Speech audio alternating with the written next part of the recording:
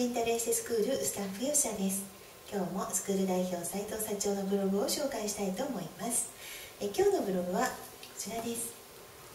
人間関係を円滑にするポイントの29回目です。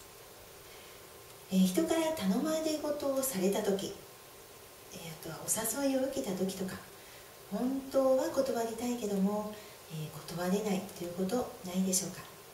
もちろんお付き合いが必要なこともあると思うんですけども心に負担がかかりすぎてしまう時にはそういった時にはごめんなさいっていうことも人間関係を続けていくには大事なポイントですということが書いてあります。よかったらご覧になってください。斉藤幸男のブログは斉藤幸男アメブロで検索。スクールに関することはメンタルエステスクールで検索してみてください。それでは Thank you.